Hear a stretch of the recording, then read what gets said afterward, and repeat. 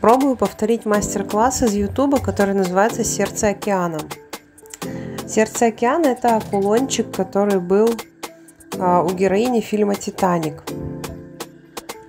Кстати, я почитала, это действительно такое украшение существовало, причем даже было два их с разной историей. А, один был с бриллиантом из короны Людовика XVI, а второй был просто с каким-то сапфиром голубым. Также для фильма было изготовлено три кулона как минимум.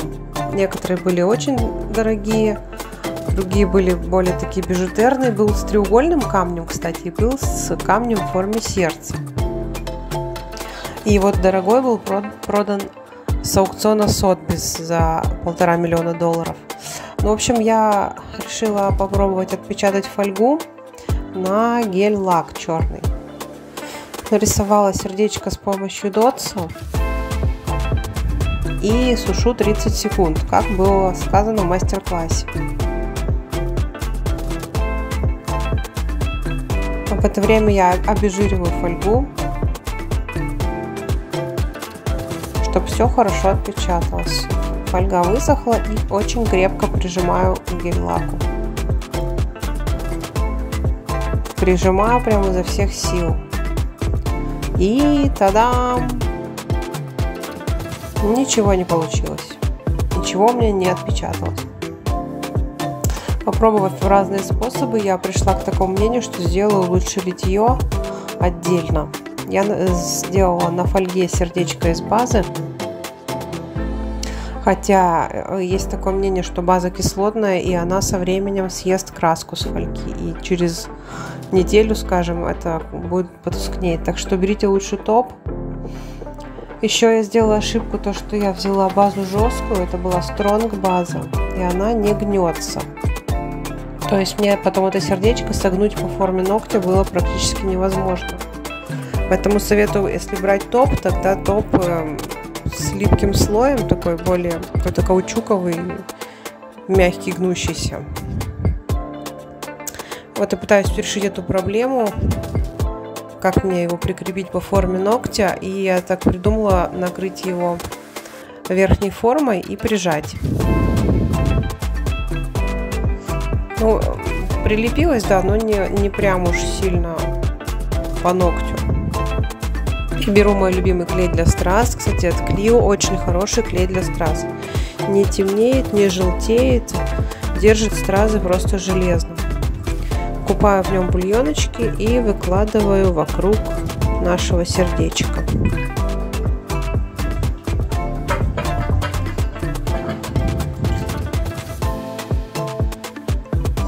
Все сердечко окружили бульонками, можно подсушить. И теперь промазываю опять все клеем для страз вокруг сердечка. И буду выкладывать туда уже маленькие стразики. Э, можно взять радужные, можно взять прозрачные. Я решила, что здесь больше подойдет прозрачные. И это у меня мелкие стразы S3. Очень удобно выкладывать их пинцетиком для ресниц. Мне кажется, это пинцет для ресниц. Я его заказывала лично на Wildberries. Вот мы все обложили стразиками и нам остается теперь между стразиками еще поставить бульоночки, только очень-очень маленькие. Берите самые маленькие бульонки, какие можете найти, с маленьким смотрится намного лучше.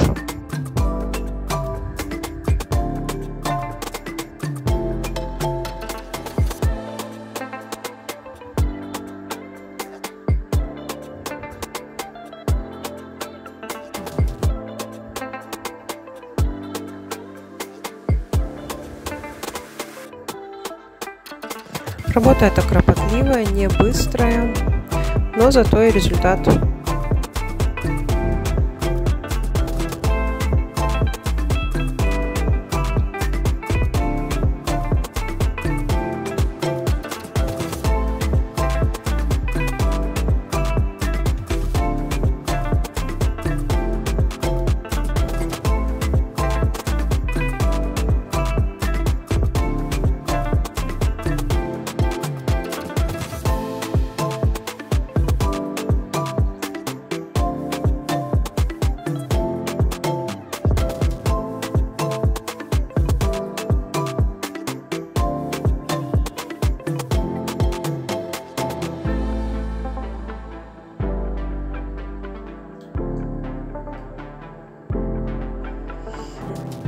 Извините, много говорить не буду. Я сейчас только-только опять болела. Поэтому говорю еще в нос. Мне не нравится мой голос, в общем. В общем, выложили все бульоночки возле каждого стразика, между каждым стразиком. Поправляем все, что съехало. Поэтому клею он очень густой, по нему практически стразы никуда не разъезжаются, не убегают, но все же лучше поправить. Все, чтобы нам все нравилось.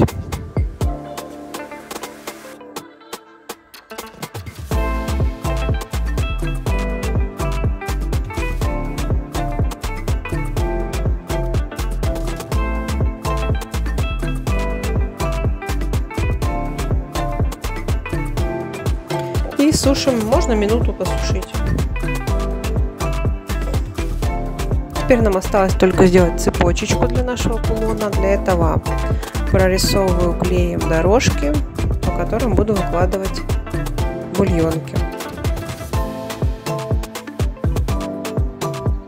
У меня в баночке смешались крупные и мелкие бульонки, поэтому я так выложила.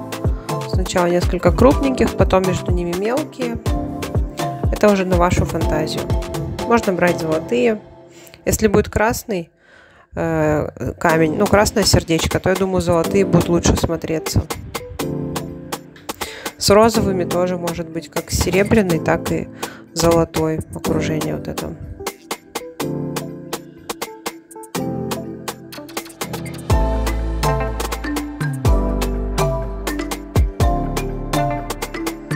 вы помните, в конце фильма же героиня выкидывает этот кулон в море.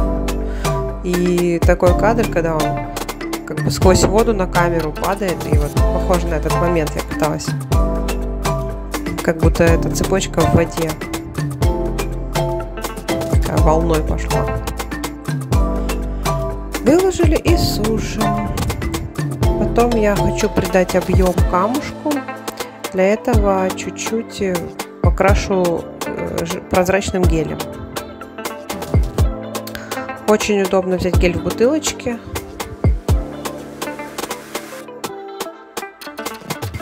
Добавляем объема нашему сердечку.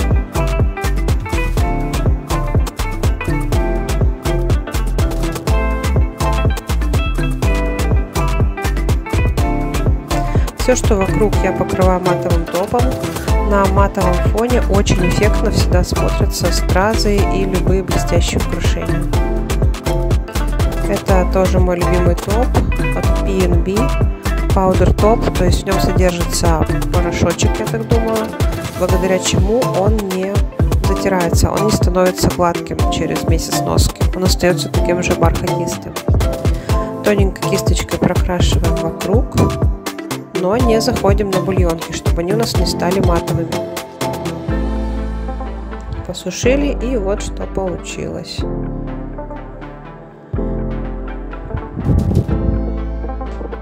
Хочу, конечно, попробовать сделать и с красным, и с розовым. Думаю, будет это супер. Э, думаю, будет отлично смотреться, если все ноготки какие-то нюдовые, матовые. И вот один такой, такое украшение, такой кулончик. Спасибо большое за просмотр. Подписывайтесь на мой канал, ставьте лайки. Меня это вдохновит на новые интересные видео.